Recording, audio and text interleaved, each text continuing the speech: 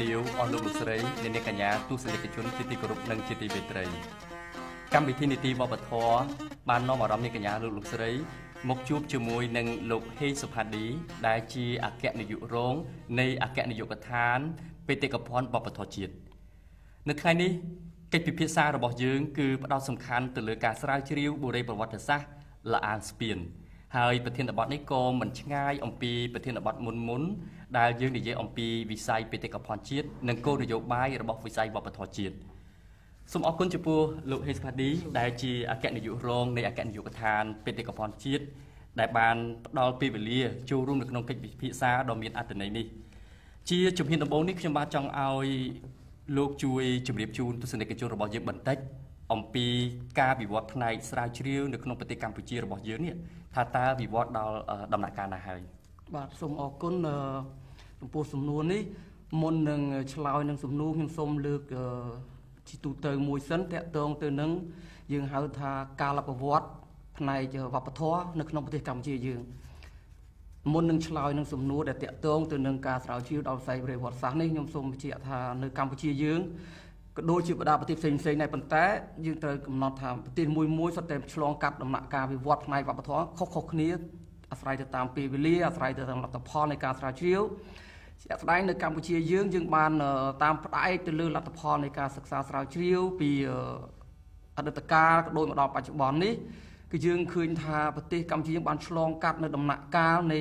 ការវិវត្តផ្នែកវប្បធម៌នឹង4ដំណាក់កាលធំធំទី1យើងហៅថាសម័យបរិវត្តសាស្ត្រទី2គឺយើងហៅថាសម័យមុនអង្គរ ដែលចាប់ផ្ដើមពីសតវត្សទី6រហូតដល់សតវត្សទី8ទី3គឺសម័យអង្គរសតវត្សទី9ដល់ចុងសតវត្សទី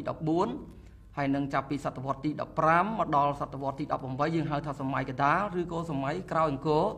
ហើយនឹងចាប់សតវត្សទី19រហូតដល់បច្ចុប្បន្នយើងហៅសម័យទំនើប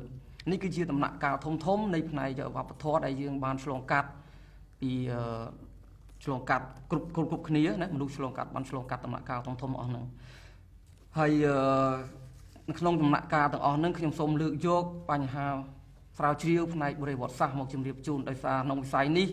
យើងឃើញថាការយល់ដឹងផ្នែកបរិវត្តសាស្ត្រគឺនៅមានកម្រិតតិចតួចនៅឡើយត្បិតការសិក្សាស្រាវជ្រាវរបស់យើងគឺយើងនៅធ្វើបានក្នុងទំហំមួយគឺថាបើប្រៀបជាមួយនឹងបណ្ដាប្រទេសជិតខាងគឺយើងនៅដើរក្រោយគេនៅឡើយទេ គឺយើងមានមូលហេតុច្រើនយ៉ាងដែលខ្ញុំសូមមិនលើកធ្វើអធិប្បាយនៅពេលនេះទេ ហើយបើយើងផ្អែកទៅលើឯកសារសិក្សាស្រាវជ្រាវយើងឃើញថាការសិក្សាស្រាវជ្រាវលើវិស័យបុរេវត្តសាស្ត្រនេះគឺចាប់ផ្ដើម តាំងពីចុងសតវត្សទី19មកម្លេះគឺនៅពេលដែលប្រទេសយើងស្ថិតនៅក្រោមអាណាព្យាបាលរបស់បារាំង គឺជនជាតិបារាំងហើយបើយើងសង្កេតឃើញថានៅពេលនោះសិក្សាការសិក្សាផ្នែកប្រវត្តិសាស្ត្រគឺធ្វើឡើងដោយអ្នកជំនាញបារាំងតែម្ដងដែលពុំទាន់មានអ្នកជំនាញខ្មែរយើងចូលរួមនៅឡើយទេអញ្ចឹងគឺយើងឃើញថាការចាប់ផ្ដើមនេះគឺនៅពេលដែលបារាំងគេបានរកឃើញស្ថានីយ៍សំរោងសែនដែលយើងតែងឮគ្រប់គ្នាហើយមានការចុះផ្សាយ ជាញឹកញាប់នៅក្នុងកម្មវិធីសិក្សាក្តីនៅក្នុងអត្ថបទសិក្សាស្រាវជ្រាវជាភាសាបរទេសក្តីគឺថាមានការលើកយកឋានីនេះមកបង្ហាញជាញឹកញាប់ជាឧទាហរណ៍នៅក្នុងប្រទេសកម្ពុជាហើយល្បីល្បាញណាស់ហើយសម្រងសាននេះគឺគេបានរកឃើញនៅ ឆ្នាំ1876ដោយអ្នកក្រមមន្ត្រីរបស់បារាំងដែលជាអាណាព្យាបាលនៅក្នុងសម័យនោះ ហើយស្ថានីយ៍សំរងសែននេះគឺជាទួលមួយដែលស្ថិតនៅក្នុងស្រុកកំពង់លែងខេត្តកំពង់ឆ្នាំងបច្ចុប្បន្នគឺស្ថិតនៅក្នុងតំបន់ដីទំនាបលិចទឹកនៃបនទលេសាបអានេះគឺជាប្រវត្តិចាប់តាំងពីពេលដែលរកឃើញស្ថានីយ៍សំរងសែននេះមកយើងឃើញថាលទ្ធផលនៃការស្រាវជ្រាវលទ្ធផលនៃការផ្សព្វផ្សាយអំពីសំរងសែននេះបានជះឥទ្ធិពលទៅដល់បណ្ដាប្រទេសនៅក្នុងតំបន់អឺរ៉ុបដែលធ្វើឲ្យគេមានការចាប់អារម្មណ៍ជាខ្លាំង ហើយពេលនោះហើយយើងឃើញមានអ្នកស្រាវជ្រាវបារាំងចាប់ដើមចូលមកកម្ពុជាធ្វើការស្រាវជ្រាវដូចជាលោកកាតាយ៉ាលោក David James លោក Levi Malere Bernard Philippe Grolier Edmond Sorang លោក Paul Levy ហើយនិងលោក Roland Morea និង Cecil Morea ដែលជាអ្នកចាប់ផ្ដើមត្រួសត្រាយឲ្យមានការសិក្សាស្រាវជ្រាវវិស័យបរិវត្តសាស្ត្រនៅកម្ពុជា ហើយក្រោយមកបានយើងឃើញមានថាយើងបានរកឃើញស្ថានីយ៍ថ្មីថ្មីក៏ដូចស្ថានីយ៍ នៅតាមបណ្ដាខេត្តជាច្រើនហើយធ្វើឲ្យចំណេះដឹងផ្នែកប្រវត្តិសាស្ត្រនឹងមានការរីកចម្រើនបានគួរសមដែលជួយការកត់សម្គាល់ប៉ុន្តែជាការសោកស្ដាយការសិក្សាស្រាវជ្រាវក្នុងវិស័យនេះត្រូវបានអាក់ខានមួយរយៈនៅពេលដែលប្រទេសយើងធ្លាក់ទៅក្នុងការគ្រប់គ្រងរបស់របបខ្មែរក្រហមគឺថាពេលហ្នឹងមិនមែនតែវិស័យប្រវត្តិសាស្ត្រទេគឺវិស័យដទៃទៀតស្ទើរតែរលាយបាត់ដោយសាររបបហ្នឹងគេមិនបើកឲ្យមានការសិក្សាស្រាវជ្រាវអីចឹងនេះជារឿងយើងដឹងទាំងអស់គ្នា ខ្ញុំក៏ចង់ត្រឡប់មកវិញតាក់ទងទៅនឹងការស្រាវជ្រាវប្រវត្តិសាស្ត្រក្រោយពីរបបខ្មែរក្រហមបញ្ចប់ទៅគឺយើងបានចាប់ផ្ដើមដំណើរការឡើងវិញនៅក្នុងវិស័យនេះនៅពេលដែលមានបើកដំណើរការមហាវិទ្យាល័យបុរាណវិទ្យានៅឆ្នាំ1980 9តាមខ្ញុំមិនចាំប៉ុន្តែពីមុនមកក៏យើងមានបើកដែរមានបើកនៅក្នុងពេលទសវត្សរ៍ឆ្នាំ60ក៏យើងមានហើយក្រោយបានដូចខ្ញុំបានជម្រាបពីខាងដើមគឺយើងធ្លាក់ ទៅប្រទេសធ្លាក់ទៅក្នុងកលយុគដែលមានការដឹកនាំរបស់ខ្មែរខំទៅហើយក្រោយពីរបបខ្មែរខំដួលលំរហូតដល់ឆ្នាំ1989បានយើងបើកឲ្យមានមហាវិទ្យាល័យបុរាណវិទ្យាឡើងវិញចាប់ពីនោះហើយដែលយើងធ្វើការសិក្សាស្រាវជ្រាវផ្នែកបុរាណវិទ្យាក៏ប៉ុន្តែនៅក្នុងដំណាក់កាលនៃការបើកដំណើរការឡើងវិញផ្នែកបុរាណវិទ្យានេះគឺយើងមិនទាន់បានសិក្សាផ្នែកបរិវត្តសាស្ត្រនៅឡើយទេគឺយើងផ្ដោតតែទៅលើការសិក្សាផ្នែកទ្រឹស្ដីនៅក្នុងមហាវិទ្យាល័យយើងផ្ដោតទៅលើការសិក្សាផ្នែកជាតិពន្ធុវិទ្យា យើងសិក្សាទៅលើ ផ្នែកសិលាចារឹកយើងសិក្សាទៅលើផ្នែកប្រពៃណីទំនៀមទម្លាប់សិល្បៈខ្មែរនិងសិក្សាទៅលើប្រាសាទបុរាណដោយសារពេលនោះគឺយើងនៅផ្នែកបរិវត្តសាស្ត្រគឺយើងនៅខ្វះធនធានមនុស្សយើងខ្វះធនធានសម្ភារៈមធ្យោបាយហើយគប់ជួន ជាមួយគ្នាទីតាំងស្ថានីយ៍បុរេវត្តសាស្ត្រមួយចំនួនគឺយើងមិនទាន់អាចចូលទៅដល់ទេដោយសារយើងនៅមានបញ្ហាសន្តិសុខយើងបញ្ហាមធ្យោបាយធ្វើដំណើរលំបាកដូច្នេះហើយការសិក្សាបុរេវត្តសាស្ត្រគឺមិនទាន់បានចាប់ផ្ដើមដំណើរការភ្លាមទេក្រោយពេលដែលយើងបើកឲ្យមានដំណើរមហាវិទ្យាល័យបុរាណជាឡើងវិញរហូតមកដល់ឆ្នាំ1996អានេះបើយើងឃើញថាការសិក្សាស្រាវជ្រាវផ្នែកបរិវត្តសាស្ត្រចាប់ផ្ដើមមានដំណើរការហើយឬនៅពេលនោះគឺថាយើងមានស្ថាប័ន អន្តរជាតិមួយចំនួនដែលគេចូលមកសហការជាមួយនឹងក្រសួងវប្បធម៌ក៏ដូចជាសាកលវិទ្យាល័យភូមិន្ទសិល្បៈយើងឃើញមានសាកលវិទ្យាល័យទូប៊ីគីនមកពីអាល្លឺម៉ង់យើងឃើញមានសាកលវិទ្យាល័យវ៉ៃសេដាមកពីជប៉ុនយើងឃើញសាកលវិទ្យាល័យហាវ៉ាយមកពីអាមេរិកគេបានចូលមកក្នុងការបណ្ដុះបណ្ដាលធនធានមនុស្សនៅក្នុងប្រទេសកម្ពុជាលើវិស័យវិរវត្តសាស្ត្រហើយចាប់ផ្ដើមឲ្យនិស្សិតចុះធ្វើការអនុវត្តជាក់ស្ដែងនៅលើទីតាំងដូចជាការឧទាហរណ៍ខាងអាល្លឺម៉ង់គេបានចុះទៅសិក្សាស្រាវជ្រាវនៅស្ថានីយ៍បន្ទាយគូនៅក្នុងស្រុកមេមត់ ក្រែកខេត្តកំពង់ចាមដែលបច្ចុប្បន្នគឺខេត្តត្បូងឃ្មុំហាវ៉ៃបានសិក្សានៅតំបន់កោបរីភ្នំតាខេត្តតាកែវខាងវ៉ាស៊ីដាគេបានសិក្សានៅខាងមន្ទីរគូដែរអញ្ចឹងចាប់ពីពេលនោះហើយយើងឃើញថាការចាប់ផ្ដើមដំណើរការឡើងវិញនៃអឺវិស័យបរិវត្តសាស្ត្រកម្ពុជា បានរីកបន្តិចម្ដងបន្តិចម្ដងហើយជាការកត់សម្គាល់យើងឃើញថាអឺក្រោយពីនិស្សិត បុរាណមហាខ្មែរយើងដែលបានទទួលការបណ្ដុះបណ្ដាលផ្នែកនេះហើយបានបញ្ចប់ផ្នែកបុរាណវិទ្យាផ្នែកប្រវត្តិសាស្ត្រទាំងនៅក្នុងស្រុកក្តីទាំងនៅក្រៅប្រទេសក្តីគឺថាបច្ចុប្បន្ននេះយើងឃើញអ្នកស្រាវជ្រាវវ័យក្មេងទាំងអស់នោះគឺថាបានធ្វើសកម្មភាពយ៉ាងខ្លាំងដោយបានរួមសហការជាមួយនឹងស្ថាប័នអន្តរជាតិនានាយើងបានធ្វើការសិក្សាស្រាវជ្រាវរកឃើញរហូតមកដល់ពេលនេះតាមស្ថិតិដែលខ្ញុំបានស្រាវជ្រាវផ្ទាល់នៅក្នុងវិស័យនេះគឺយើងបានរកឃើញស្ថានីយ៍ បុរេប្រវត្តិសាស្ត្រចំនួន180ទីតាំងនៅក្នុងទូទាំងប្រទេសដែលមានអាយុកាលចាប់ពីសម័យថ្មបំបែករហូតមកដល់សម័យចុងយុគលោហៈអានេះគឺតាមលទ្ធផលហើយក្នុងចំណោមទាំងអស់ហ្នឹងគឺយើងបានធ្វើផែនទីយើងធ្វើបានចុះទៅដល់ទីតាំងសង្កេតផ្ទាល់ហើយប៉ុន្តែក្នុងមានមួយចំនួនតូចទៀតដែលយើងបានធ្វើការសិក្សាស្រាវជ្រាវតាមបែបវិទ្យាសាស្ត្រតាមរយៈការធ្វើកំណាយហើយជាក់ស្ដែងខ្ញុំសូមលើកយកស្ថានីយ៍មួយដែលសំខាន់ គឺស្ថានីយ៍លអាងស្ពាន ដែលស្ថិតនៅក្នុងស្រុករតនមណ្ឌលខេត្តបាត់ដំបងដែលក្រសួងវប្បធម៌និងជាសិល្បៈបានធ្វើកិច្ចសហប្រតិបត្តិការជាមួយនឹងសារមន្ទីរជាតិប្រវត្តិសាស្ត្រធម្មជាតិនៅទីក្រុងប៉ារីហើយយើងបានចុះកិច្ចព្រមព្រៀងនៅថ្ងៃទី15ខែមិថុនាឆ្នាំ2009 មុននឹងចាប់ផ្ដើមដល់គម្រោងស្រាវជ្រាវថ្មីនេះខ្ញុំសូមជម្រាបជូនពី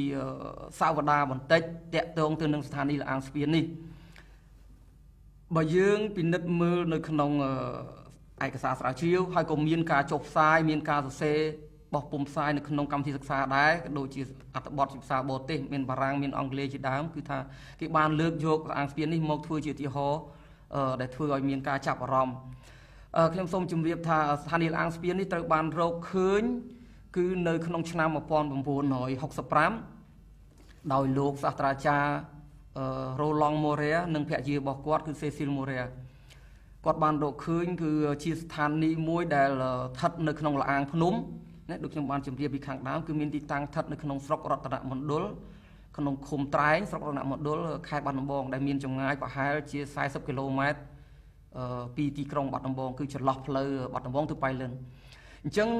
នៅពេលរកឃើញឆ្នាំ1965ហ្នឹងគាត់ចាប់ផ្ដើមធ្វើកំណាយជាបណ្ដាបណ្ដាគឺរហូតដល់ចុងឆ្នាំដល់ឆ្នាំ1970ការធ្វើកំណាយរបស់គាត់លោកម៉ូរ៉ែហ្នឹងការធ្វើកំណាយរបស់គាត់គឺបានរកឃើញឧបករណ៍ថ្មបំបែកគាត់បានរកឃើញសំណល់ឆ្អឹងសត្វឧបករណ៍ថ្មបំបែកហ្នឹងគឺតាមការសិក្សាប្រៀបធៀបទៅគេបានធ្វើចំណាត់ថ្នាក់ទៅក្នុងវប្បធម៌មួយគេហៅថាវប្បធម៌ហាប៊ីញៀន ដែលមានប្រភពនៅវៀតណាមខាងជើង ដែលអ្នកស្រាវជ្រាវបារាំងលោកស្រី Marlene Colony គាត់បានឲ្យនិយមនៃវប្បធម៌ហាប៊ីញៀនហ្នឹងគឺនៅក្នុងឆ្នាំ1936ប៉ុន្តែជាវប្បធម៌នេះខ្ញុំមិននិយាយលម្អិតទេព្រោះជារឿងបច្ចេកទេសយើងអាចមានពេលធ្វើការបកស្រាយនៅពេលក្រោយប៉ុន្តែឧបករណ៍ថ្មនេះគឺជាឧបករណ៍ថ្មបំបែកដែលគេយកចេញពីផលិតចេញពីដុំគ្រោះដែលគេយកចេញពីស្ទឹងហើយអ្នកផលិតនិងប្រើប្រាស់ឧបករណ៍ហ្នឹងគឺជាសហគមន៍មនុស្ស ដែលរស់នៅក្នុងពេលវេលាមួយជាអ្នកបរបាញ់និងអ្នកប្រមូលផលអនុផលព្រៃឈើអញ្ចឹងគាត់បានទៅរកទីតាំងនៅលាងភ្នំលាងស្ពាននេះធ្វើជាកន្លែងរស់នៅអញ្ចឹងពេលដែលគេលោកមរ៉ាគាត់បានទៅធ្វើកំណាយទៅយើងបានរកឃើញផុសតាំងហ្នឹងក្រៅពីឧបករណ៍ថ្មគឺយើងបានរកឃើញសំណល់ឆ្អឹងសត្វដែលមានសត្វធំដូចជាពួកសត្វចតុបាទណាសត្វតូច សត្វពួកសត្វកេសត្វស៊ីស្មៅសត្វស៊ីសាច់លាក់នឹងបកខ្យងខ្ចៅដែលជាចំណីអាហាររបស់ក្រុមមនុស្សទាំងអស់ហ្នឹងគេទូលទានហើយគេចោលសំណល់ទាំងអស់ហ្នឹងហើយដែលជាភ័ស្តុតាងបង្ហាញថាទីនោះមានមនុស្សរស់នៅក្រៅពីហ្នឹងក៏បានរកឃើញកុលាលភាជដែលធ្វើពីដីឥដ្ឋយើងហៅក្អមឆ្នាំងហ្នឹងផលិតពីដីឥដ្ឋហ្នឹងដែលគេផលិតសម្រាប់ប្រើប្រាស់អញ្ចឹងទៅយើងបានរកឃើញអស់ហ្នឹង ហើយកាលពេលដែលលោកម៉ូរ៉ាគាត់បានធ្វើការស្រាវជ្រាវរកឃើញអស់នឹងហើយគាត់បានកំណត់អាយុកាលគឺមានអាយុ6800ឆ្នាំមុនគឺសករាជនេះគឺជាអាយុកាលនៃឧបករណ៍ថ្មបំបែកដែលលោកម៉ូរ៉ារកបានឃើញអញ្ចឹងចាប់អាយុកាលនឹងហើយដែលយើងឲ្យថាជាស្ថានីយ៍ឡាងស្ពាននឹងជាស្ថានីយ៍ដែលចាស់ហើយមានភ័ស្តុតាងច្រើនដែលបង្ហាញពីសកម្មភាពរបស់មនុស្សតាក់ទងទៅក្នុងវិស័យបរិវត្តសាស្ត្រ ប៉ុន្តែគួរឲ្យសោកស្ដាយដោយសារខ្ញុំបានលើកម្ដងហើយម្ដងទៀតពីខាងដើមថានៅពេលឆ្នាំចាប់ដើមពីចុងឆ្នាំ70មកនឹងប្រទេសយើងបានចាប់ដើមចូលទៅក្នុងរបបព្រឹត្តិការណ៍មួយដែលមានបញ្ហាអសន្តិសុខបញ្ហានយោបាយអីចឹងទៅយើងធ្វើឲ្យការស្រាវជ្រាវនឹងបានអាក់ខានហើយអ្នកស្រាវជ្រាវផ្សេងលោកម៉ូរ៉ាមិនមែនតែលោកម៉ូរ៉ាទេគឺអ្នកស្រាវជ្រាវបរទេសទាំងអស់គឺបានចាក់ចេញពីប្រទេសយើង ដើម្បីទៅប្រទេសគេវិញដើម្បីជៀសវាងពីបីបញ្ហាសុខភាពផ្ទាល់ខ្លួនអញ្ចឹងស្ថានីយ៍អាងស្ពានត្រូវបានបោះបង់ចោលអស់រយៈពេលជិត50ឆ្នាំបើយើងគិតតាំងពីឆ្នាំ1970រហូតមកដល់ពេលដែលយើងចាប់ផ្ដើមធ្វើការសិក្សាឡើងវិញឆ្នាំ2009វាជិតទៅ50ឆ្នាំទៅហើយ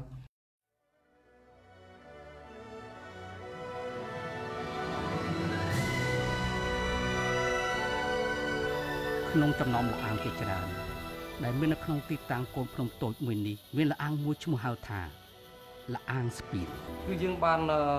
លើកកម្រងស្រាវជ្រាវមួយដែលមានរយៈពេល4ឆ្នាំហើយសម្រាប់ឆ្នាំទី1នេះគឺយើងបានចាប់ដើមធ្វើកំណាយថ្ងៃទី1រហូតដល់ថ្ងៃទី26ខែកក្កដាឆ្នាំ2009សម្ដៅថ្មីនេះគឺថាគេធ្វើដោយប្រុងប្រយ័ត្នដើម្បីទី1ចង់ដឹងប្រៀបធៀបថាសម័យដែល ធ្វើទសវត្សទី60និងឥឡូវឆ្នាំ2009នេះធ្វើដល់ជំរៅស្មើគ្នាតើវាខុសគ្នាឬយ៉ាងម៉េចហើយវាមានរបស់អីខ្លះទៀតនឹងជួបប្រទេសឥឡូវហ្នឹងគេបានជួបបដាបដានៅថ្មិញមនុស្សដែលនៅក្នុងអណ្ដាលចាស់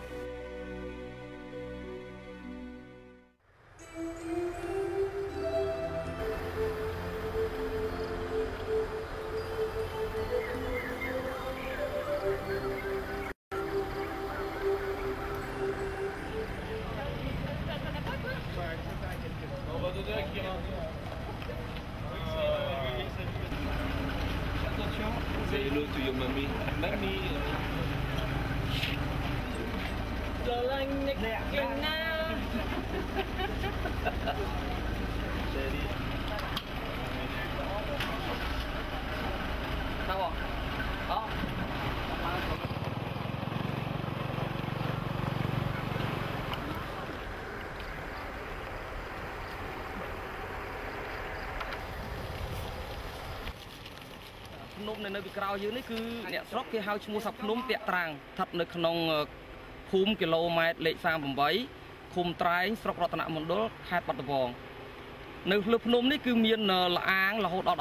13ដែលក្នុងនោះលអាងស្ពានដែលយើងហៅថាលអាងស្ពានគឺជាលអាងមួយក្នុងចំណោមលអាងទាំង13នឹងហើយលអាងស្ពានស្ថិតនៅខ្ពស់ជាងលអាងដទៃទៀតហើយលអាងភ្នំលអាងស្ពាននេះត្រូវបានលោករ៉ូឡង់ម៉ូរ៉េ ដែលជាអ្នកបុរាណវិទូរបស់បារាំងហ្នឹងគាត់បានមករកឃើញថាជាកន្លែងដែលមានមនុស្សតាំងពីលំនៅ Definitely good occupation.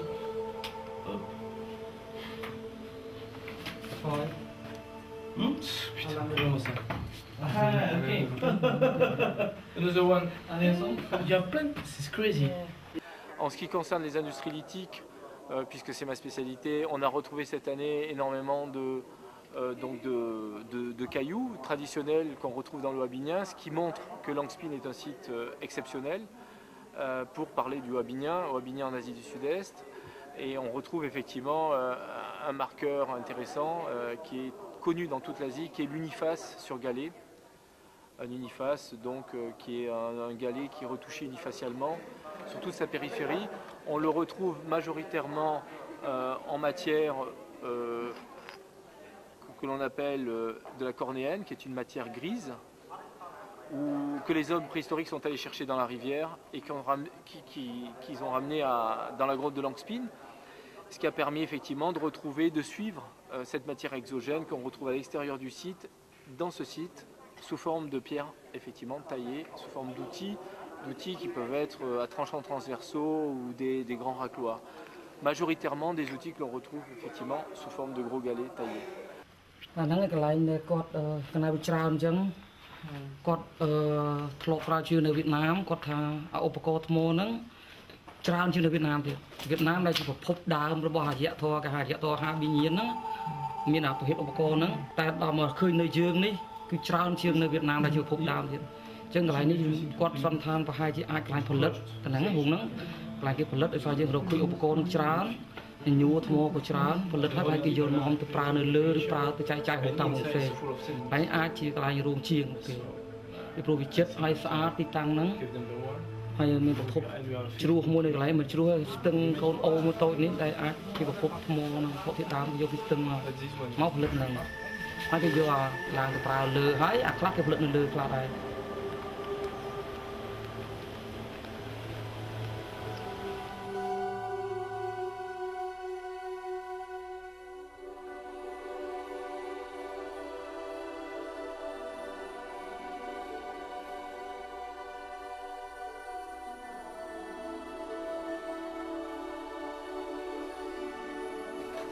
ទីនេះគឺជាប្រភេទឧបករណ៍ថ្មយើងហៅថាឧបករណ៍ថ្មអំបែកដែលជាឧបករណ៍មួយដែលគេប្រើនៅក្នុងសម័យយុគថ្មអំបែក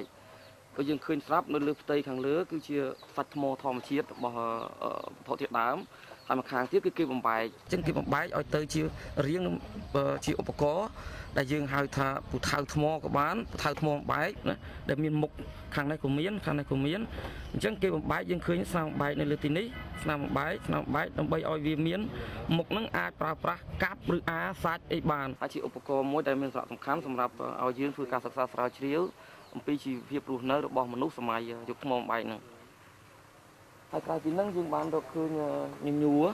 វាជាញញួរថ្មដែលបង្ហាញអំពីការផលិតឧបករណ៍ថ្មហ្នឹងនៅលើទីតាំងតែម្ដងដែលយើងឃើញមានស្នាមនៅទីនេះគឺជាស្នាមបែកដែលគេយកទៅដំឧទាហរណ៍ថាអញ្ចឹងគេយកមកវាមកដំបំបែកដើម្បីឲ្យទៅជាឧបករណ៍នេះទៅជាឧបករណ៍ដែលគេចង់បានហើយនេះញញួរអញ្ចឹងរបស់ទាំងអស់ហ្នឹងគឺយើងរកឃើញនៅលើទីតាំងជាមួយគ្នានៅក្នុងស្ថានីយ៍តែមួយបញ្ជាក់ថានៅលើស្ថានីយ៍លអាងស្ពានហ្នឹងគឺកន្លែងរស់នៅផងកន្លែងគេផលិតឧបករណ៍ប្រើប្រាស់ផង ហើយក្រៅពីហ្នឹងទៀតយើងបានរកឃើញឧបករណ៍ថ្មមួយប្រភេទទៀតដែលយើងដែលឧបករណ៍នេះវាអាចស្ថិតនៅក្នុងសម័យកាលពីរផ្សេងគ្នាហើយឧបករណ៍មុនដែលយើងហៅថាឧបករណ៍ថ្មបំបែកជាឧបករណ៍ដែលស្ថិតក្នុងសម័យថ្មបំបែកតែឧបករណ៍នេះយើងហៅថាជាពូថៅដែលមានពន្លួញមកចោដងអ្នកខ្លះគេហៅថាផ្លែដឹង អាស្រ័យទៅលើបើសិនជាបច្ចេកទេសក៏គេបញ្យល់ច្បាស់គណៈបច្ចេកទេសបើយើងហៅថាដឹងគឺមុខវាខាងនេះអត់ស្មើទេខាងនេះមុខយ៉ាងកោងខាងនេះមុខត្រង់តែបើពូថៅគឺថាមុខហ្នឹងស្មើគ្នាមានន័យថាវាស៊ីមេត្រីគ្នាយើងហៅពូថៅឲ្យការប្រើប្រាស់ក៏ខុសគ្នាដែរឧបករណ៍ហ្នឹងគណៈជាផ្លែដឹងគេប្រើរបៀបនេះគេកាប់បញ្ឈររបៀបនេះកាប់បញ្ឈរតែបើផ្លែពូថៅគឺគេកាប់ត្រង់ចុះក្រោមហើយស្នាមនៅលើមុខនេះទៀតគឺមានបង្ហាញពីការបាក់បែកនេះគឺបង្ហាញពីការប្រើប្រាស់ ពេលតែគេកាប់ទៅចាំងទៅគឺមានស្នាមបែកបាក់ហ្នឹងគឺយើងអាចឃើញច្បាស់ហើយបើយើងចង់យល់លម្អិតទៅទៀតគឺយើងយកទៅសិក្សាលើបច្ចេកទេសមួយគេហៅថា microwave ហ្នឹងគេយកទៅសិក្សាជាមួយនឹងពិនិត្យនៅលើឧបករណ៍អតិសកុមទូឬ microscope ហ្នឹងដើម្បីមើលឃើញស្នាមសឹកនេះយើងអាចយល់ថាគេប្រើ កាប់ជាមួយគេកាប់ឈើកាប់ឫស្សីឬគេកាប់ស្អីផ្សេងផ្សេងវត្ថុរឹងឬវត្ថុដែលទន់យ៉ាងម៉េចគឺគេអាចបញ្ជាក់បានទៅពេលដែលយើងទៅសិក្សាលម្អិតបន្ទាប់ពីសម័យថ្មបែកមកគឺសម័យថ្មរំលីងហ្នឹងឯងហើយបានឈានចូលមកដល់យុគលោហៈនៅសម័យក្រោយ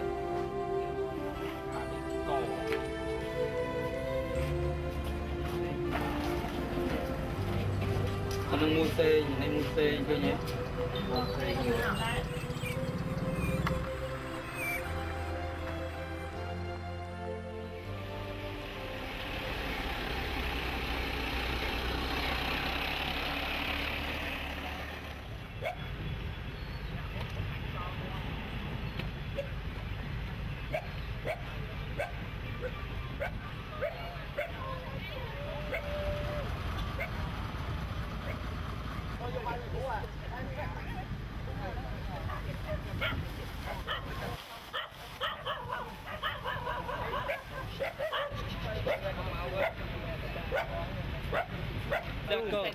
batterie. La grotte 12, la grotte Landsby. Ah, ok, d'accord. Après, on ira à grotte 12 parce qu'elle a, Oui, oui, oui, oui. elle a un problème de batterie et elle veut commencer dessus. Bien. Ouais, pour le gamin. Ouais, ouais. D'accord. On va d'abord à.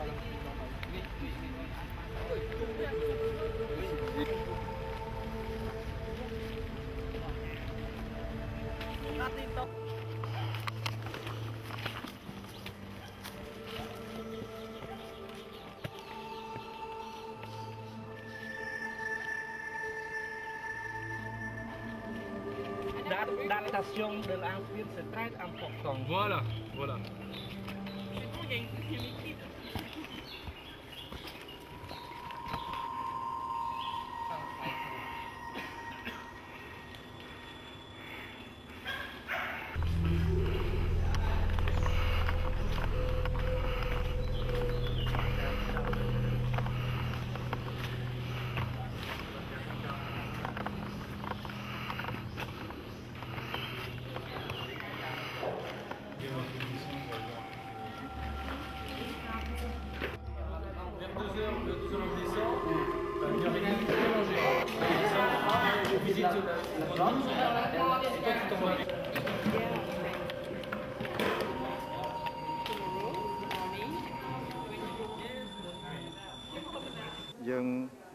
មកកន្លែងនេះ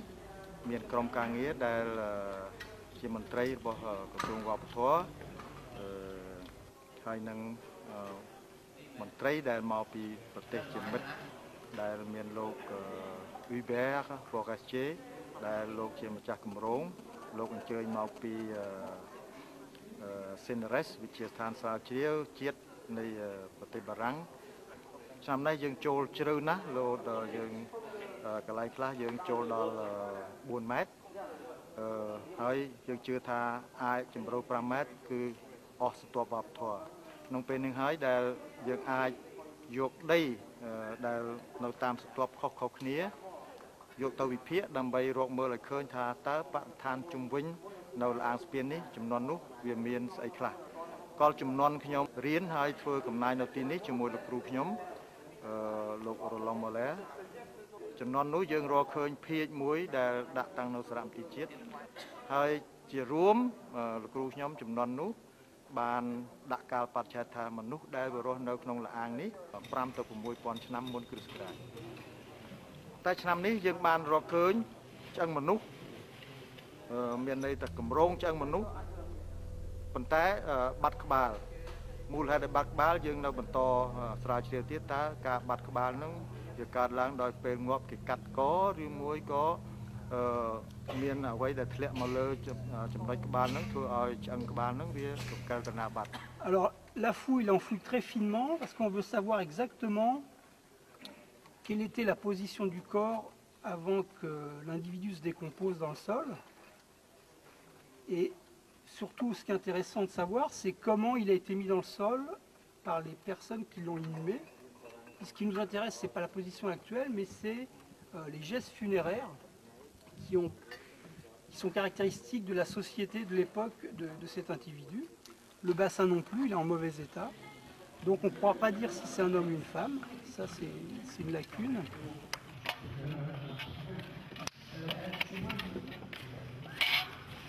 ឥឡូវយើងជីកចុះបណ្ដោយជំរឿ1ម៉ែត្រពីលើផ្ទៃដីខាងលើហើយយើងបានជួបភ្នោខ្មោចនេះហើយភ្នោហ្នឹងដូចយើងឃើញស្រាប់ហើយគឺថាអត់មានក្បាលទេយើងអត់ឃើញរកឃើញឆ្អឹងក្បាលទេឃើញតែឆ្អឹងខ្លួនឆ្អឹងជើងដៃហើយនឹងឆ្អឹងតាគៀកប៉ុន្តែឆ្អឹងតាគៀកហ្នឹងគឺមានលក្ខណៈពុកផុយច្រើនហើយនៅភ្នោនេះគឺនៅសងខាងពិសេសនៅលើក្បាលគឺមានដាក់គេដាក់ភៀកភៀកមួយនៅទីនេះ ភាគមួយនៅស្មាខាងឆ្វេងស្មាខាងស្ដាំហើយនឹងនៅប្រឡប់ផ្លូវនេះគឺមានភាគបើផ្អែកតាមលើបំណែកភាគគឺមានភាគ2ឬ3ខុសគ្នាភាគហ្នឹងហើយក្រៅពីហ្នឹងនៅចុងជើងគឺគេមានដាក់ថ្មយើងមិនមែនជាឧបករណ៍ទេប៉ុន្តែថ្មហ្នឹងយើងមិនដឹងថាគេរៀបមានលក្ខណៈជាភ្នោឬយ៉ាងណាទេហើយនៅគៀនស្មានេះយើងបានរកឃើញបន្តោងខ្សែកមួយដែលធ្វើអំពីធ្មេញសัตว์គឺជ្រូកជ្រូកព្រៃ តាក់ទងទៅរឿងភេទរបស់សពនេះគឺយើងមិនទាន់ដឹងទេ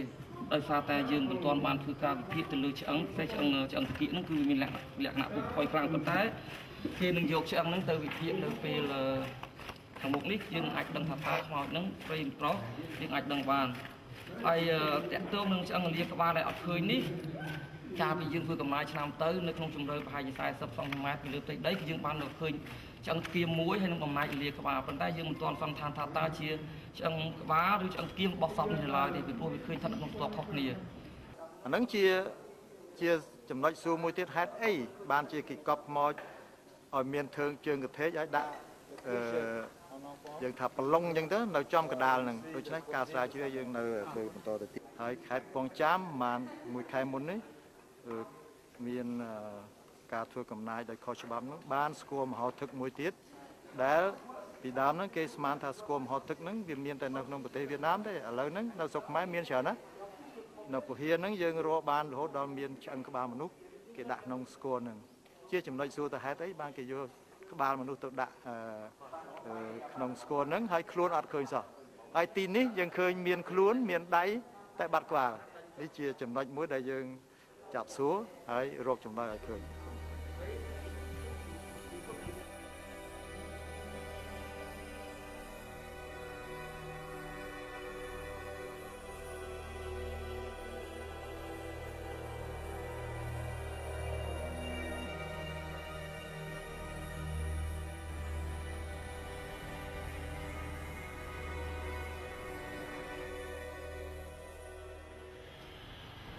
លទ្ធផលនៃការវិភាគដើម្បីកំណត់ពីអាយុកាលនៃឆ្អឹងខ្មោចនេះគឺយើងបានបញ្ជូននៅកំទេចឆ្អឹងមួយដុំតូចទៅធ្វើការពិសោធន៍នៅលើឆ្អឹងដែលយើងបានទទួលមកពីសាកលវិទ្យាល័យ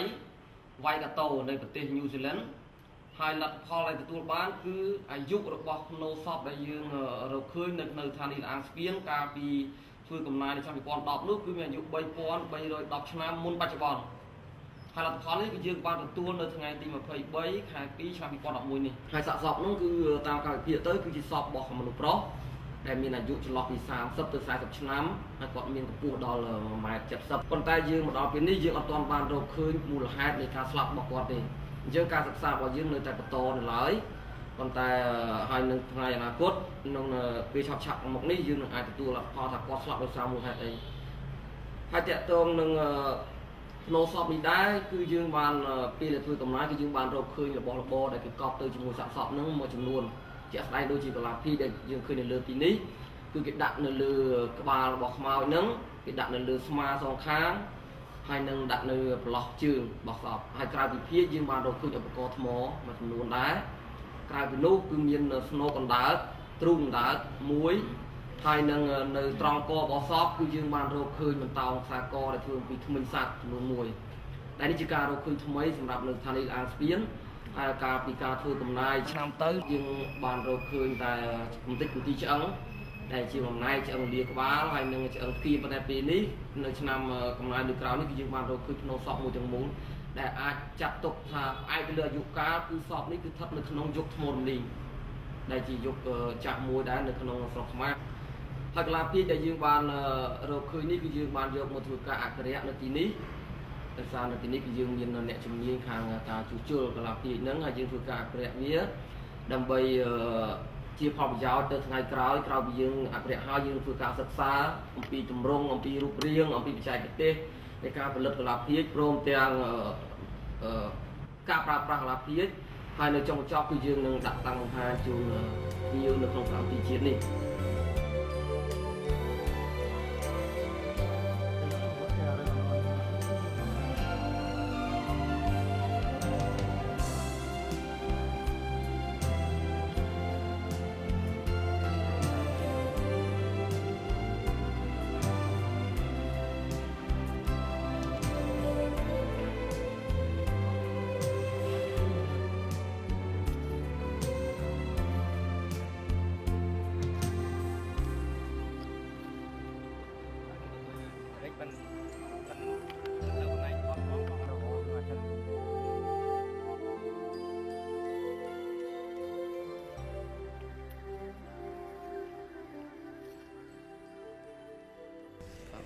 សម្ដេចទ្រង់អាយដាមលោកជំទាវអស់លោកលោកស្រីជាកិត្តិយសទូទូរទស្សនិកជនជាទីគោរពនិងជាទីមេត្រីដោយសារតែពេលវេលានៃកម្មវិធីនីតិវប្បធម៌នេះឱកាសនេះបានឈានចូលមកដល់ទីបញ្ចប់ ខ្ញុំបាទក៏នឹងវិលមកជួបនាងកញ្ញាលោកលោកស្រីទស្សនិកជនជាបន្តទៀតនៅក្នុងកម្មវិធីនីតិវប្បធម៌ដោយនាំយកនៅប្រធានបទថ្មីស្ដីអំពីកិច្ចការការពារផ្នែកបេតិកភណ្ឌនេះនឹងមានការចូលរួមពីអ្នកជំនាញរបស់យើងជាបន្តទៀតដោយសារតែពេលវេលានៃកម្មវិធីរបស់យើងបានឈានចូលមកដល់ទីបញ្ចប់ហើយនៅគណៈនេះយើងខ្ញុំទាំងពីរនាក់បាទសូមអរគុណសូមជម្រាបលា